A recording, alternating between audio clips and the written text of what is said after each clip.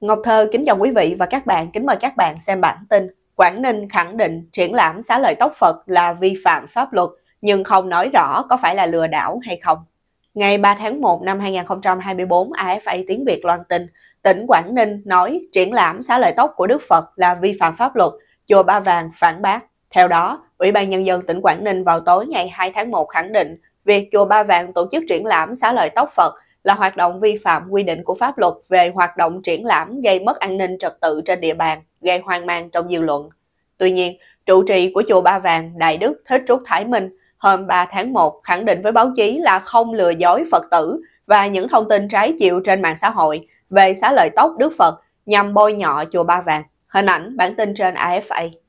AFA cho hay, từ ngày 23 đến ngày 27 tháng 12 năm 2023, chùa Ba Vàng tổ chức rước trưng bày, chiêm bái, xả lợi tóc Đức Phật, thu hút hàng vạn Phật tử đến chiêm bái. Vụ việc đã gây xôn xao dư luận với nhiều ý kiến trên mạng xã hội phản đối hành động này, bày tỏ nghi ngờ về cái gọi là sợi tóc của Đức Phật có từ hàng nghìn năm và cho rằng chùa Ba Vàng đã thu hàng chục tỷ đồng trong vụ này. AFA dẫn thông báo mới nhất của Ủy ban Nhân dân tỉnh Quảng Ninh yêu cầu chùa Ba Vàng không biên soạn, sản xuất các video, hình ảnh, tài liệu và gỡ bỏ toàn bộ các thông tin giới thiệu về vật thể được cho là xá lợi tóc Phật đã đăng tải. Nhưng thông báo này không nói rõ xá lợi tóc Phật là thật hay là cỏ Billy như mạng xã hội lan truyền. Theo AFA, ngay sau khi có những tin đồn rầm rộ trên mạng xã hội, Ban Tôn giáo Chính phủ đã đề nghị Giáo hội Phật giáo Việt Nam thẩm định nguồn gốc xá lợi tóc Đức Phật trưng bày tại chùa Ba Vàng yêu cầu xử lý nghiêm nếu các tổ chức cá nhân chức sắc Phật giáo liên quan đến sự việc có sai phạm.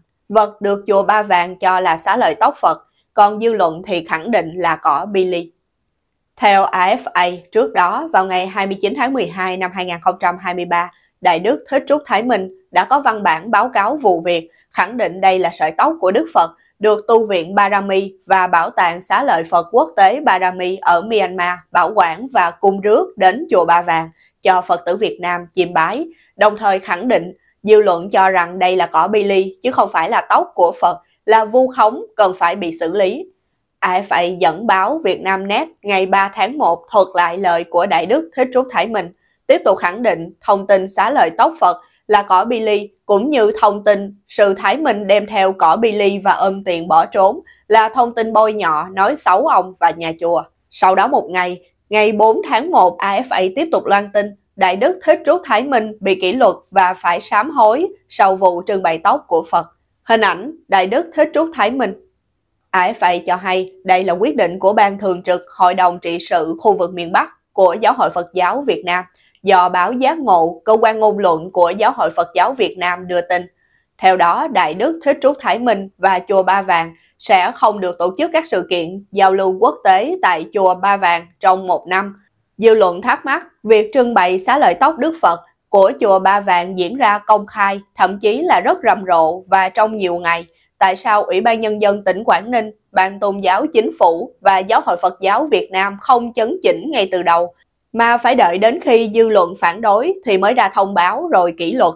Đây chỉ là những hành động vuốt đuôi nhằm trấn an dư luận, chứ không phải là thật sự giữ nghiêm kỷ cương phép nước và giáo luật của giáo hội. AFA cho biết thêm, đây là lần thứ hai sư trụ trì của chùa Ba Vàng bị kỷ luật. Lần đầu tiên là ông bị kỷ luật đình chỉ mọi chức vụ trong giáo hội và phải sám hối là vào năm 2019 sau khi thực hiện hoạt động thỉnh vong cúng oan gia trái chủ, thu hàng trăm tỷ đồng mỗi năm bị báo chí trong nước phát giác. Quý vị và các bạn vừa theo dõi chương trình cập nhật tin tức của Ngọc Thơ thời báo chấm D với bản tin Quảng Ninh khẳng định triển lãm xá lợi tóc Phật là vi phạm pháp luật nhưng không nói rõ có phải là lừa đảo hay không.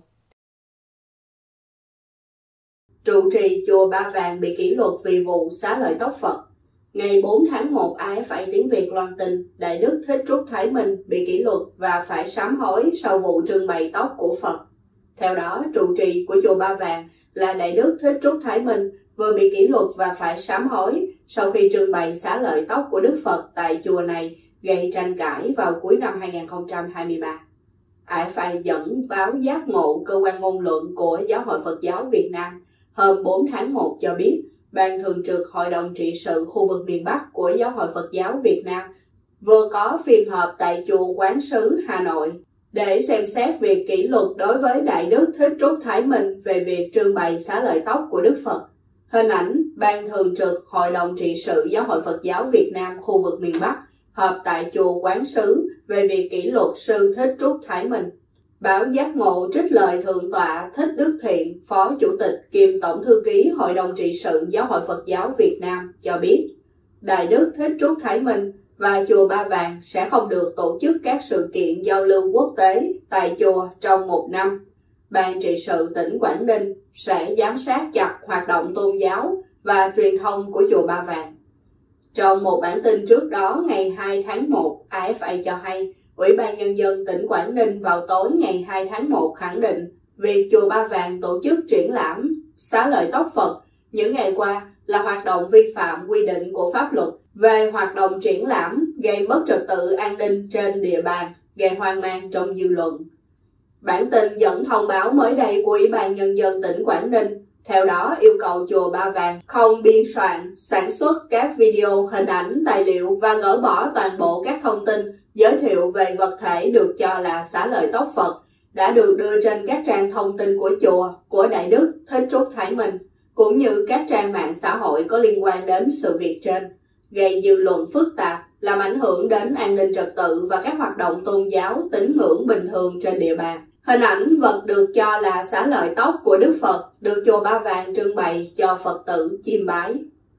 AFA cho biết từ ngày 23 đến ngày 27 tháng 12 năm 2023, chùa Ba Vàng có tổ chức rước trưng bày và chiêm bái xá lợi tóc Đức Phật, thu hút hàng vạn Phật tử đến chiêm bái. Vụ việc đã gây xôn xao dư luận với nhiều ý kiến trên mạng xã hội, phản đối hành động này, bày tỏ nghi ngờ về cái gọi là sợi tóc Đức Phật có từ hàng nghìn năm trước và cho rằng chùa Ba Vàng đã thu hàng chục tỷ đồng trong vụ này. AFA cũng dẫn công văn gửi ra trước đó giải trình về vụ việc, trong đó Đại Đức Thích Trúc Thái Minh cho biết sợi tóc mà chùa Ba Vàng trưng bày vốn được tu viện Barami và Bảo tàng Xá lợi Phật Quốc tế Barami ở Myanmar bảo quản và cung rước đến chùa Ba Vàng cho Phật tử Việt Nam chiêm bái. Sư Thái Minh khẳng định không có việc lừa dối dư luận. Đại Đức Thích Trúc Thái Minh thỉnh xá lợi tóc Đức Phật tại chùa Ba Vàng. Theo thông tin được báo Giác Ngộ đăng tải, sự việc trưng bày xá lợi tóc của Đức Phật tại chùa Ba Vàng đã bị dư luận lên tiếng nghi ngờ về nguồn gốc và tính chân thật của vật thể được chùa Ba Vàng gọi là xá lợi tóc Đức Phật, bảo vật quốc gia thiên liêng của Myanmar. Dư luận hết sức xôn xao liên tục trong nhiều ngày qua, không chỉ trên mạng xã hội mà một số cơ quan báo chí chính thống cũng đã quan tâm, phản ánh. Theo báo Giác Ngộ,